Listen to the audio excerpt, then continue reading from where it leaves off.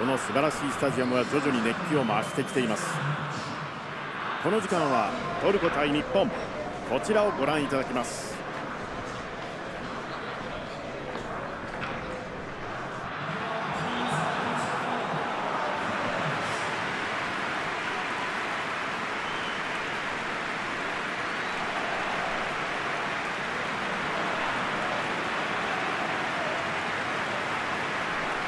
国国歌お聴きいただきます。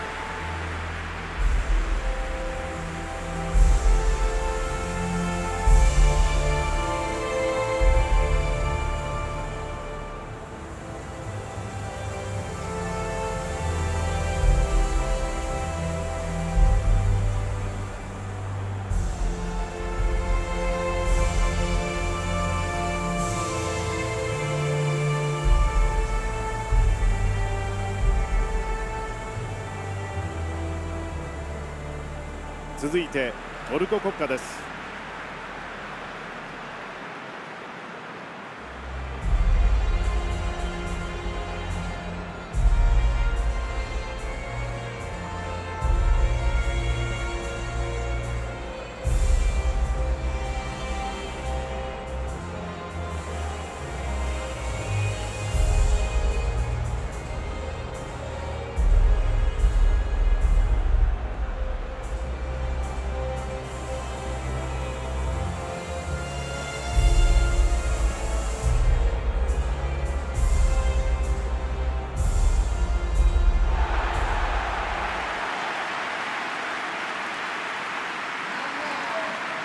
トルコがこの試合は4 5 1のシステムです。非常に中盤にトライアングルが作りやすいシステムですよね。ボランチとオフェンシブハーフを中心に組み立てていく中で相手のフェンスを最後までいかに引っ張り出せるかですよね。数的優位な状況を作れればワントップを生かす形が作りやすくなりますよね、あとはそのトップがどういう役割を果たすかがポイントになってきますよね。はい。そのワントップでの役割で大切なことは何でしょうか？そうですね。この場合トップに求められることはポストプレーができるストライカーですよね、はい、このシステムの柱と言ってもいいんじゃないでしょうかね、ね、フィジカルが強く周りの状況判断を瞬時にできる能力が必要なポジションですよね。なるほど。まず前半見ていきましょう。トルコ対日本。エキシビションマッチをお届けしてまいりますこの序盤ゲームの入り方としては相手よりも先に主導権を握りたいですよね。そうですね。自分たちのフットボールをする、そのためにはまずファーストシュートを狙っていくことですよね。はい。ゲームの立ち上がりまずは見ていきましょう。板倉。緩く狙ったボール。チャルハノー。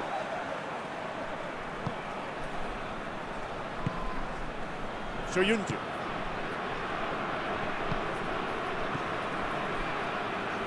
大きく縦速いパス回し。アイハン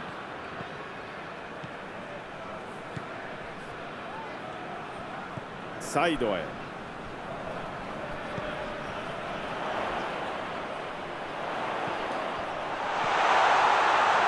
アーチのようなパス。トルコ。ここでファールをもらいます。やはり抜けるとチャンスになるところですからね。いやかなりいい位置まで持ってかれましたからね。やむを得ない選択だったんでしょうね。レフリーの注意が入ります。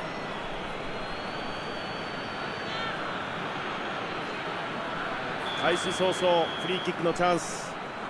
立ち上がりから流れきてますよね。今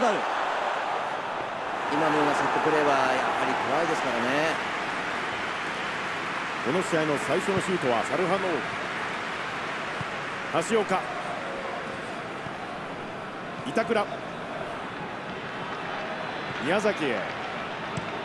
縦組み立てる。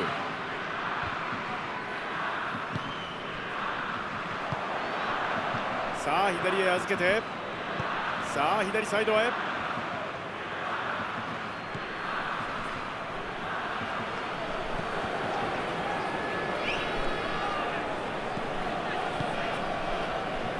ユンデル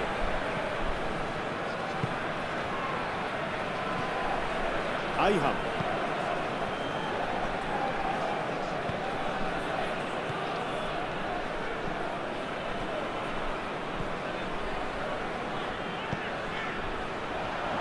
クロスを上げる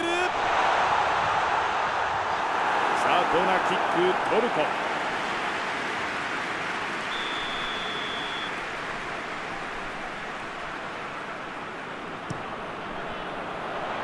頭できた。これは素晴らしい反応でした。いやよく止めましたね。ファインプレーですよね。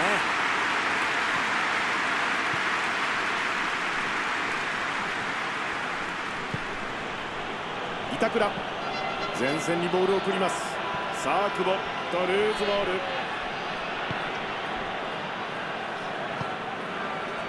ボールを下げてリズムを作るか今日の立ち上がりなんですが両チーム北澤さんはどうご覧になりますか？まだ点も動いてないですからね。まずは主導権を握る上でどうするのか見極めることが大事になってきますよね。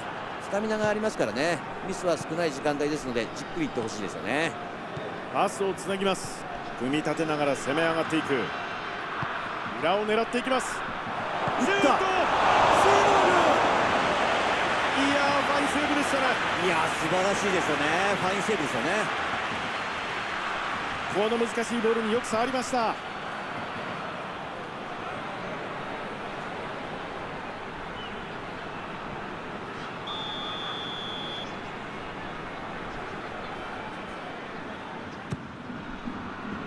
クリアです。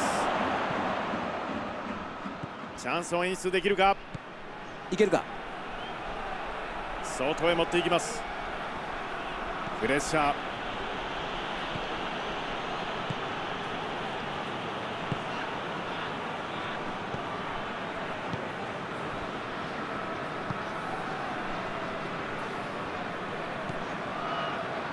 15分が経過前半です。ここまでは両チームとも0対0時間は前半中盤に差し掛かっています。長いボール縦へ。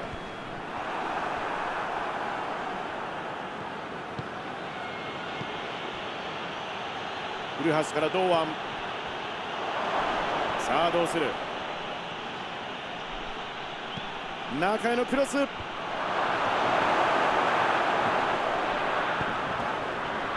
チャルハノール。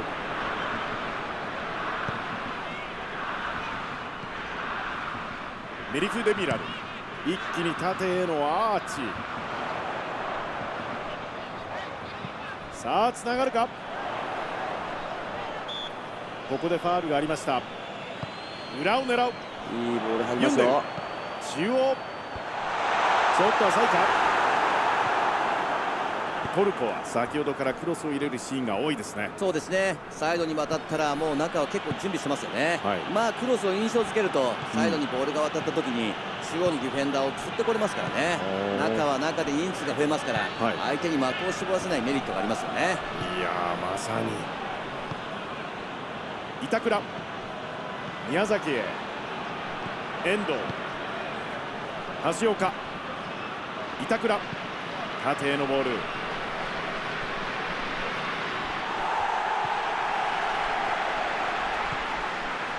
メリフ・デミラル。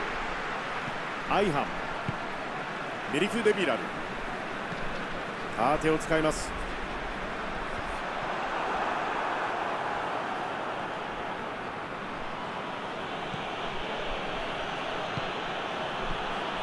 遠藤宮崎へ。アーチのようなパス。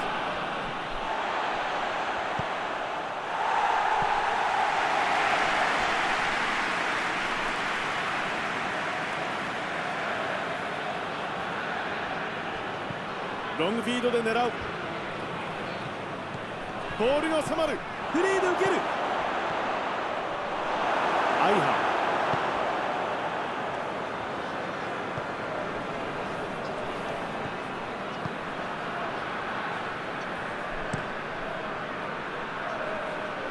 読んでる組み立てていきます。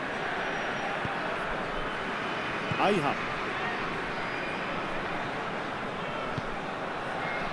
読んでる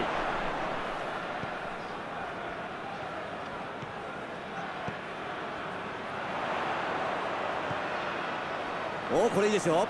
さあ中はいる。ユンデルからのボール。来たどう見えたこれはよく止めました。そうですね。ディフェンダーは完全にキーパーに助けられましたねこれ。このピンチよく防ぎました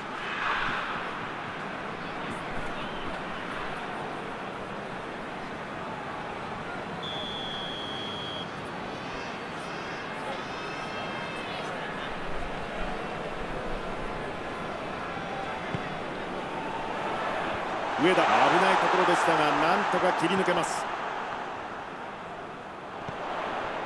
アイハン。仕掛けるか。来たチャンスだ。中に合わせてくるか。収まって打つトラップから打つまで非常に速いシュートを打ってきました。シュート打つまでのリズムが非常に速いですよねあのスピードでこれだけ鋭いシュートが打てるっていうのは素晴らしいですよね。この場面でスーパーセーブです。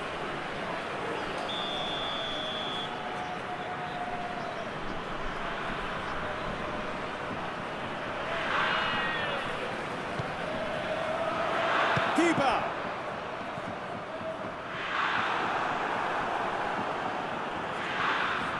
古橋左サイド上がってきます。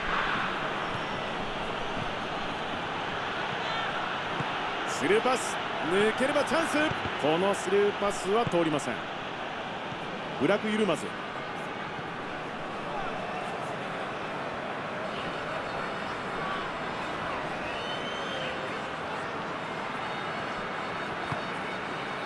上田。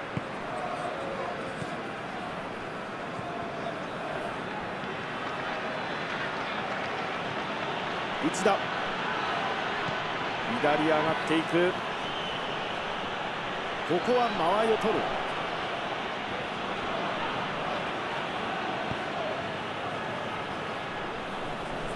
長いボールを送ります。チャレンジはしません。後ろに流す。細かくパスをつないで攻め込んでいきます。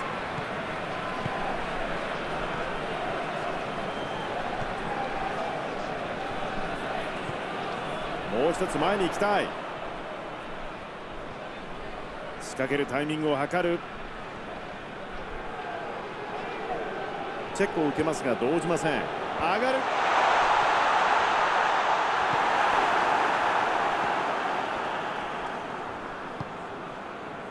内田。両チームファーストハーフここまでまだスコアレスの展開です。ユンデル。アイハン。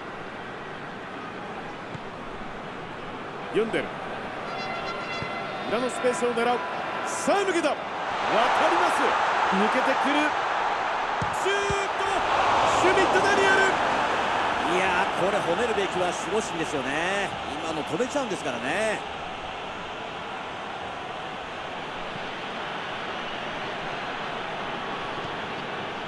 右サイド上がる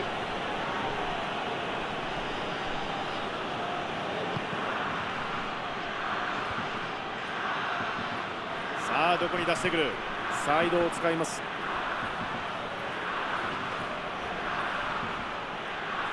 体強いですね。枚数いる中につなぎたい。中央へ折り返す。このパスを防ぎます。どうする？内田。堂安。遠藤へ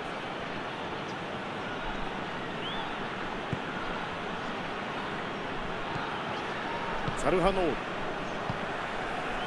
アイハン。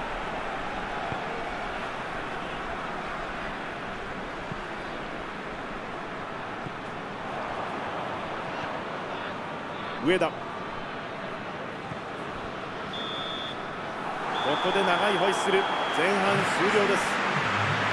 まだスコアレスです。北澤さん前半戦についてのコメントをお願いします。日本としては中盤の組み立てから最後シュートまでいい形が作れてますよね。人とボールがうまく連動していくような前半でしたよね。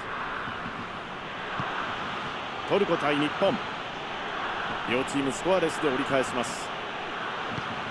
後半見ていきましょう。まあ非常にタイトなゲームになってますけども、ね後半立ち上がり非常に大事ですよね。そうですねふわっと裏を狙う。いいボールだ。いい展開ですね。トルコここは大きくクリア。危険なシーンでした。ユンデル。トルコが最終ラインまでボールを下げる。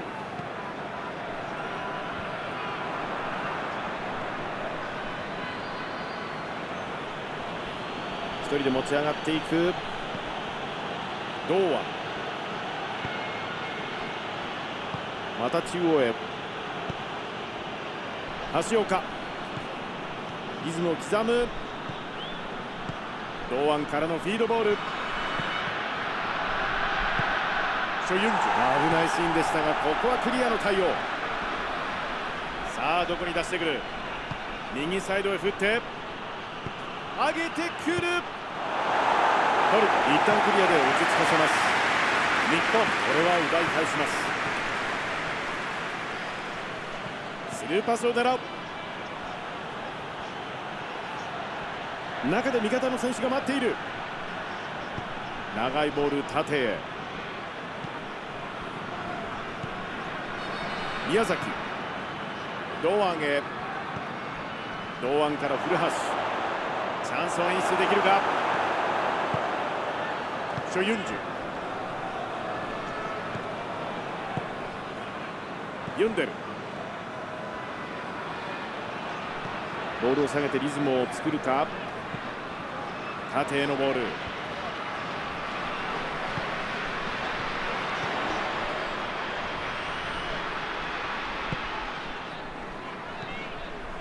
アイハン。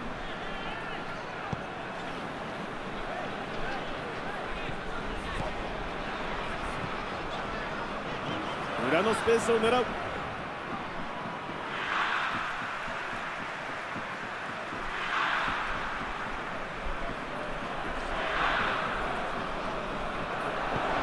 る頭ブラク緩まずお互いの意図完璧というヘッドでしたが決まりませんでした。きっちり頭で合わせてきましたね。トルコが決定的なチャンスを迎えたシーンでした。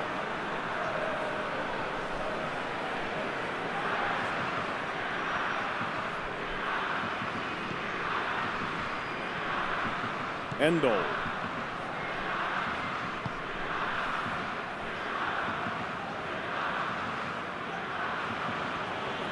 一人持ち上がっていく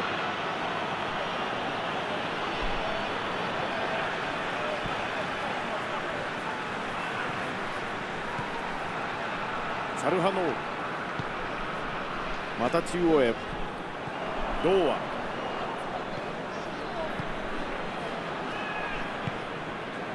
安橋岡。久保。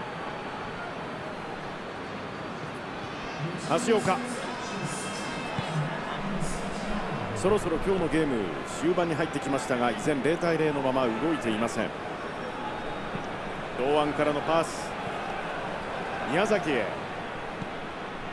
堂安。久保から緩いフィードボール。トルコ。ここでファールをもらいます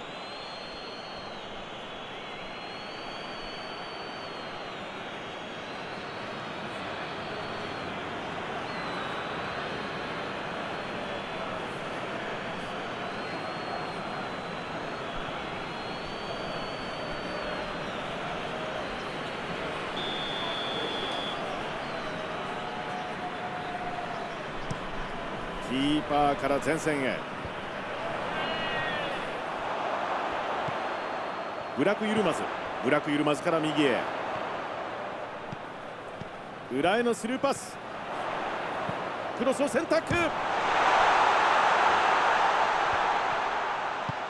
柔らかいボール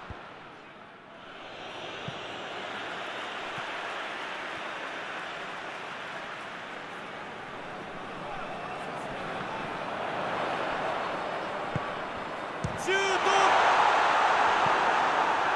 トルコ先ほどと同じようなフィニッシュでしたが決めることができませんでした。この時間帯リズムがいいですよね。なってもおかしくないようなシーンが先ほどから連続してますからね。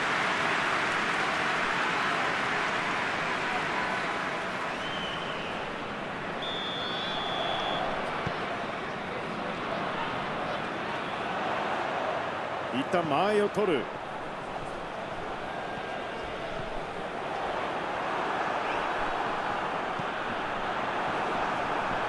さあトルココーナーキックが続きます。ショートですね。チャルハノーここで前を向けるか？さあどうする？どうだシュー！トこれはわずかに左でした。この辺ね外れはしましたけどもギリギリのところ狙ってますよね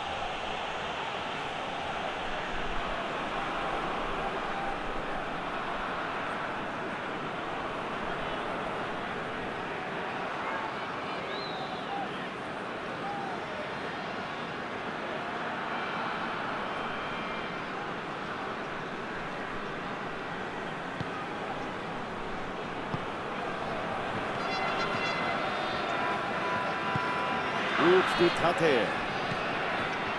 内田。左サイドを上がっていきます。自分で行く。危ない。ちょっと合いませんでした。古橋これは収まりませんでした。思い切って狙ってきましたよね、まあ、相手よりシュート数少ないのでそういった意味では積極的でいいと思いますけどもね。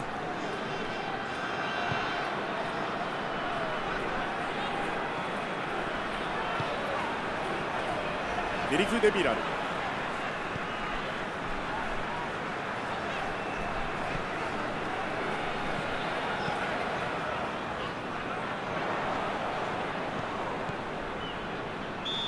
アイハンのここはファールを取られます。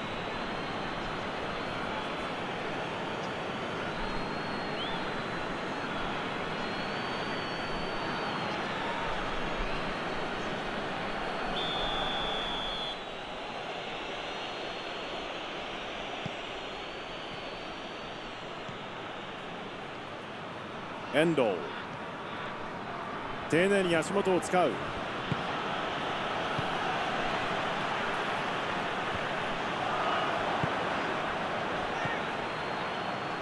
サイドへ。こぼれてる。橋岡。非常に攻撃的なサイドバックの選手です。チョユンジュ。アイハン。ユンデルアイハン長いボールを送ります。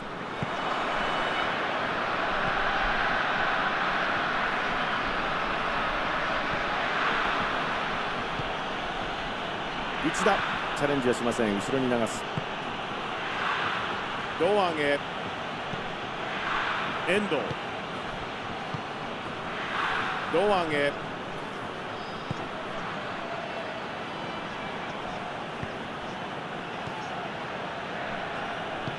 スペースを狙う。アイハン。後半ももう3分の2が経過しています。アイハン。大きく縦へ。古橋。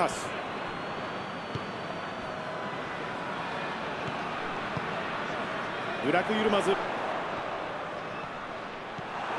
いいとこまで攻めたんですけどもね。この終盤でのせめぎ合いは最後まで目が離せませんね。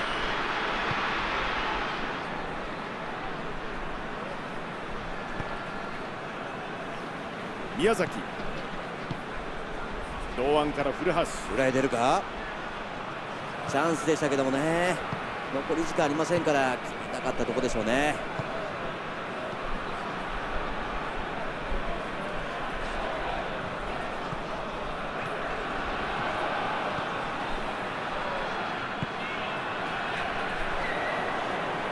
ボールを下げてリズムを作るか。宮崎。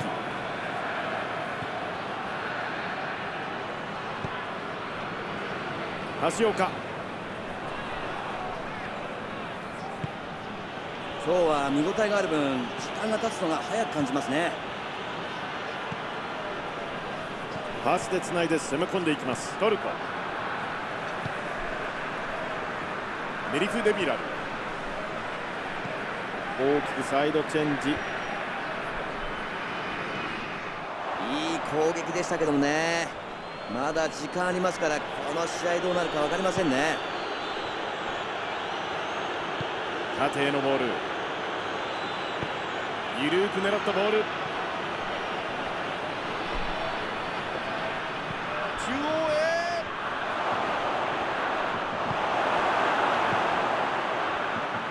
いいとこまで攻めたんですけどもね。この終盤でのせめぎ合いは最後まで目が離せませんね。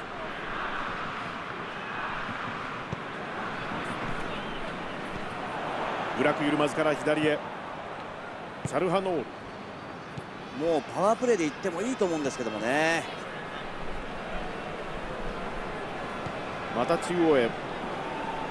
スルーパスを狙う。いいボールですね。ああいい展開ですねこのボールに触ります。大事にいきたいですねここ。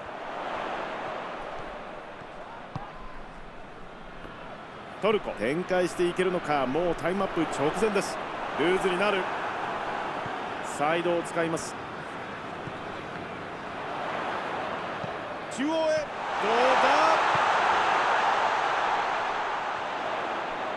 ここで丁寧にボールを扱う。チャルハノールからボールが上がる。中央シュートいやー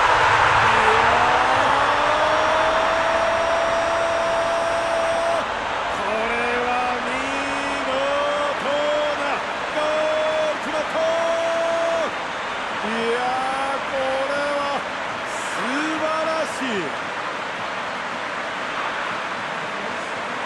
いやーなんというブラクイルマズディフェンスの寄せにあっていたんですがものともせずシュートゴールでしたボディバランスですよね。体を寄せられたとしてもそれを跳ね返せる力。これがゴールを生み出しましたよね。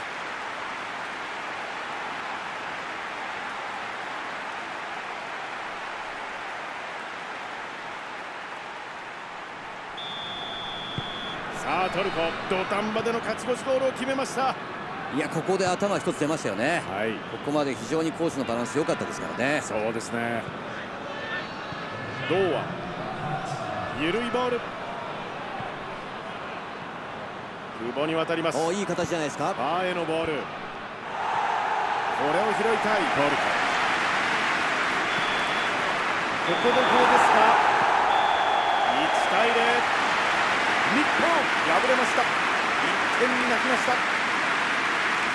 さあ北澤さん。今日のゲーム振り返って何かございますか？日本としてはゼロで抑えられてしまったことを考えるとあまりいい負け方ではないですよね。